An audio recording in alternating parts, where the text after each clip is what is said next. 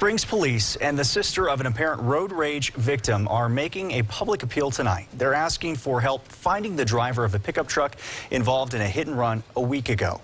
The victim is 30-year-old Anthony Jafari. He remains in critical condition at Memorial Hospital. Police say he was run over in a business driveway near Academy and Vickers. The case is being investigated as an attempted murder.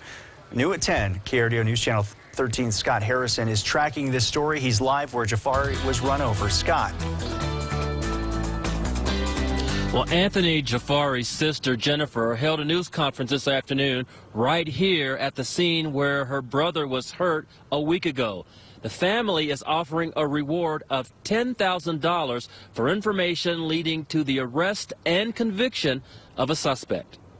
There has to be someone that saw something. Any information helps.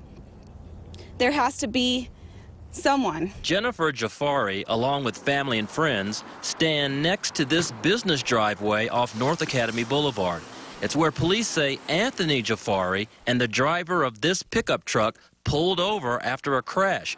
The Jafaris are looking for anyone who was paying attention last Saturday morning. If you were in the vicinity of Dublin and Academy, Lehman and Academy, or Vickers and Academy between 9 to 9.15 a.m., you may have seen the suspect. Shortly afterward, Anthony was run over.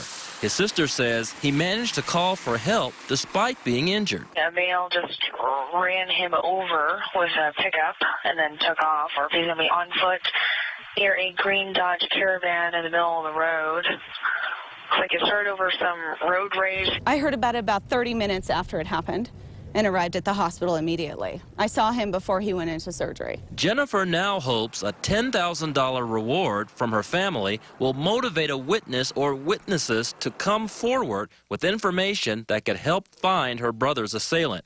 And she also appeals to the conscience of the suspect driver. My brother didn't deserve this. What he does deserve is justice. I know there is someone who knows something, and I ask that that person to imagine if this were their loved one, and to please have compassion and come forward. Now let's give you another look at the suspect vehicle that police are looking for. It's a sky blue, newer model Toyota Tundra. It may have damage to its front end and passenger side. We're told it also has an out-of-state tag and a rainbow sticker near the tags. Contact Springs Police or Crime Stoppers if you have any information that could help them solve this case. We're live in North Colorado Springs tonight. Scott Harrison, KRDO, News Channel 13. Scott, thank you. Police say the driver of that truck is a white man in his late 20s or early 30s with long, dark hair.